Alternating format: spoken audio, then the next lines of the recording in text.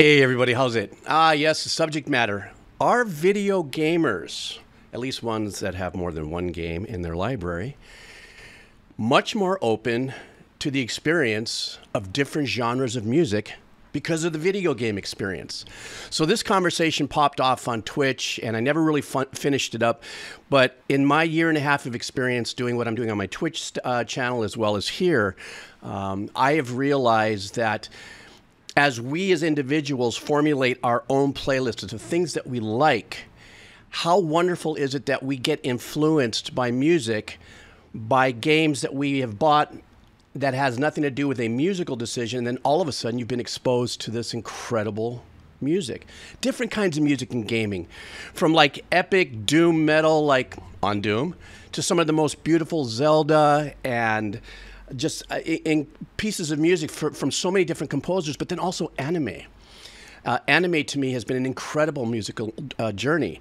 But the essence of what I wanted to say here is that I'm, I'm hearing a lot of things about, you know, um, from different, you know, very successful YouTube creators. You know, Gen Z may not be that much into music in the way they get their music or how today's music now has kind of dummied down music. I don't know. That's not my conversation to have as much as it is how excited that I am as an old person to be able to journey with these gamers, like on my Twitch channel and here, through these genres that otherwise you may not be exposed to. And they're pretty diverse too. Jazz, fusion, you know, punk. I learned something new. What's what's black gaze? An unbelievable genre that I didn't know existed. Had it not come from a suggestion from a gamer who heard something on another game, or uh, one of one of the bigger, more successful uh, lines of music coming uh, from anime. I, I, believe the the band uh, Cowboy Bebop. You see a few things like that here on the channel.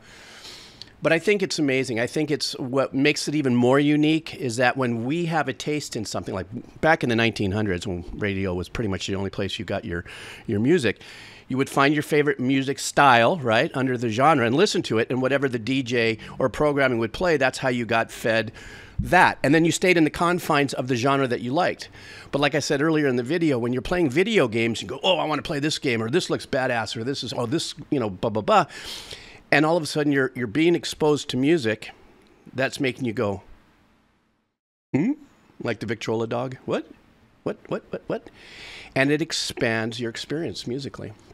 And i think uh, though this video doesn't target any particular other creators that have opposing opinions i just want to be that guy to say that at where i'm at in my life what it is that i'm doing now right now with music and and honoring you know musicians composers arrangers um, that that work on video games. Uh, it's it's been an absolutely amazing journey, and I myself, even at my age, in my 60s, am being re-influenced by listening to that broader spectrum of music that I'm learning through video games. Even me, right now, I've just picked up Hi-Fi Rush. It's that game you got to play with the rhythm, which is super cool. I'm finishing up Portal. I've played Outer Wilds. I've played Minecraft. Matter of fact, I'm getting ready to start a new Minecraft server.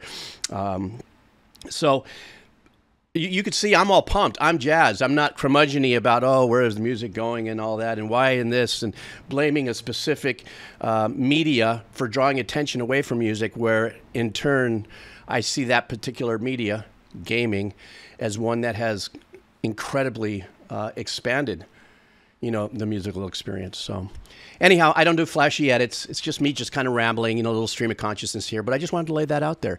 And, uh, you know, what are your thoughts on that? How do you feel about that? And of course, you know how I like to end some of my videos? If you're still here, type in, I'm still here.